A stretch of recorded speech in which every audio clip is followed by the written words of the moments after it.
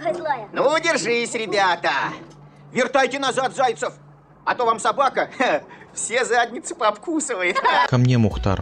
Советский художественный фильм, созданный на студии Мосфильм в 1964 году по повести Израиля Мэтра «Мурат» в 1961 году, позже переиздававшийся под названием «Мухтар», о взаимной преданности лейтенанта милиции и овчарки по кличке Мухтар, самоотверженный пес, готовый жизнью заплатить за любовь, выручает младшего лейтенанта милиции Николая Глазычева в опасных ситуациях.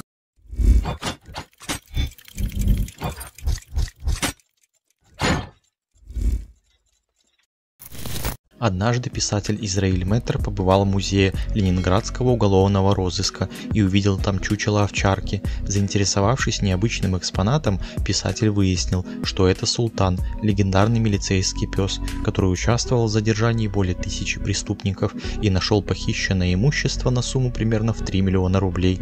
Султан работал во время блокады Ленинграда, его дважды ранили преступники, а когда пес уже не мог выполнять служебные обязанности, его забрал к себе майор Петр Бушмин.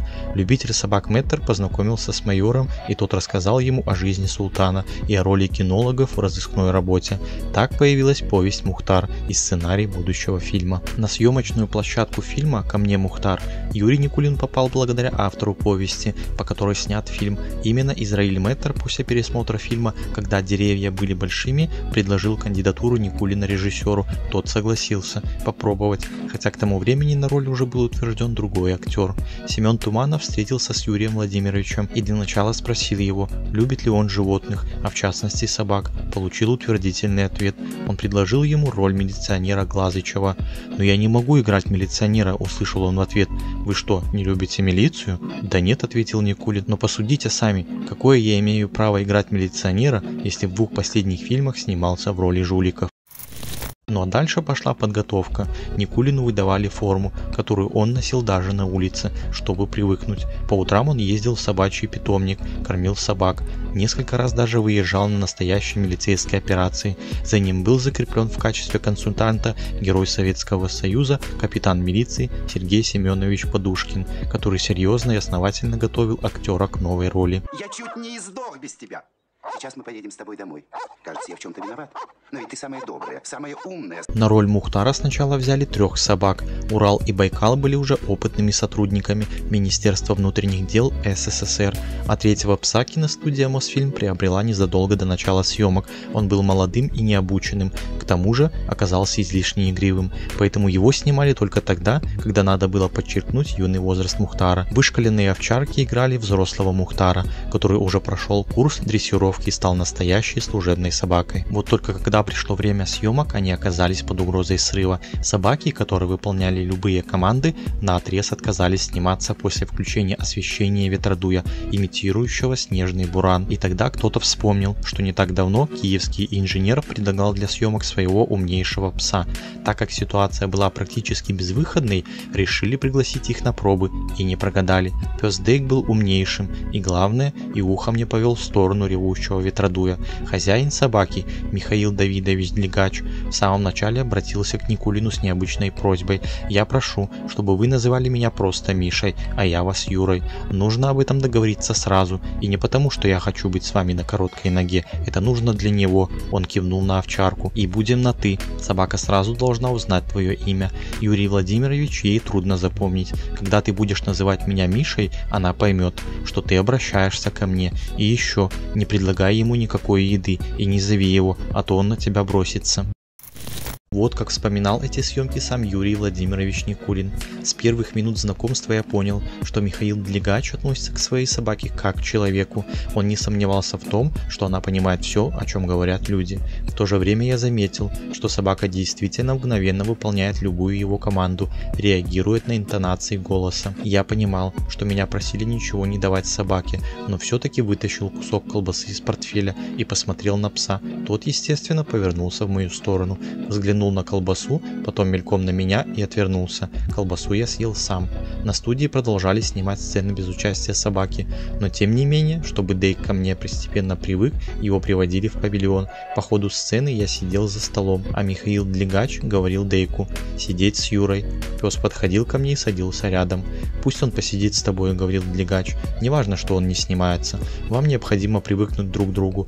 Дейк запомнит твой запах. Постепенно будет считать тебя своим, ведь вам во многих сценах придется быть рядом». Летом, когда уже проводили до съемки фильма, семья Никулина уехала на дачу, и Юрий Владимирович пригласил Дликача приехать с Дейком к себе. Как-то около пяти часов утра сквозь сон я услышал, как Дейк, стуча по паркету лапами, вошел в мою комнату и начал стаскивать с меня одеяло. С просони я ничего не понял. «Что тебе надо?» – спросил я собаку. Дейк посмотрел на меня и повернул морду к окну. Я понял, что собака просится погулять. Надо же, подумал я, хозяин спит рядом, а она пришла за мной. Мне стало приятно. Я встал, быстро оделся и вывел Дейка на улицу. С тех пор Дейк каждое утро будил меня, и мы шли с ним гулять. Когда съемки фильма закончились, Никулин, который очень привязался к Дейку, сказал Длигачу, что собака его полюбила больше, чем хозяина. Длигач удивился. «С чего ты взял?» «А с того, что три последние недели Дейк каждое утро будил меня и просил, чтобы я с ним шел погулять, хотя ты, хозяин, спал в соседней комнате». Длигач засмеялся и сказал, «Так вот знай, каждое утро он будил меня, а я ему говорил, иди к Юре, он с тобой погуляет».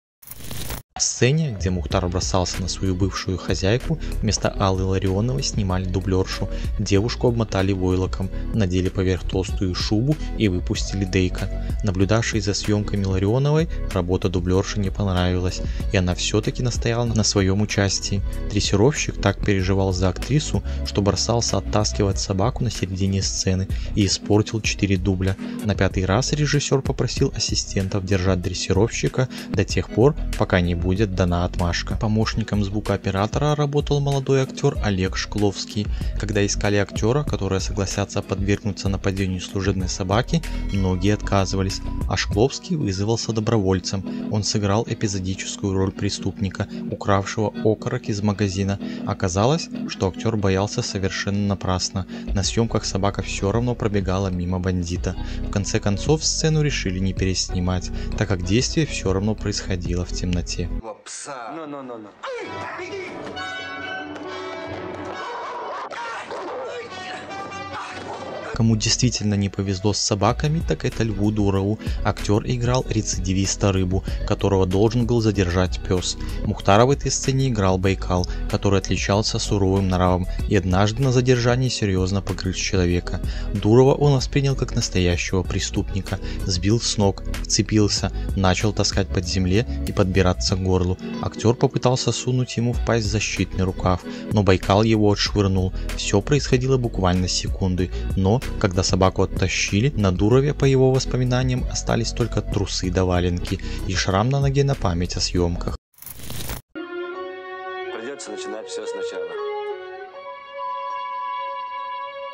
Для съемок финала фильма, когда Мухтар приходит в себя после ранения, собаке надо было придать больной вид. К лапе привязали кусочек проволоки, которая слегка покалывала при ходьбе, и пилу обмотали бинтами, а шерсть намазали вишневым сиропом, чтобы она выглядела свалявшейся. После выхода фильма кличка обрела небывалую популярность. Мухтары всех пород были почти в каждом дворе. Юрию Никулину стали дарить щенков служебных собак, и он не знал, как уговорить собаководов этого не делать. Актер шутил, что пора снимать вторую часть и назвать ее «От меня, Мухтар». Дорогие друзья, для канала важна ваша поддержка. Если вам понравилось это видео, ставьте лайки, пишите комментарии, подписывайтесь на канал. Если хотите поддержать канал финансово, ссылка в описании. С вами не прощаюсь и до встречи.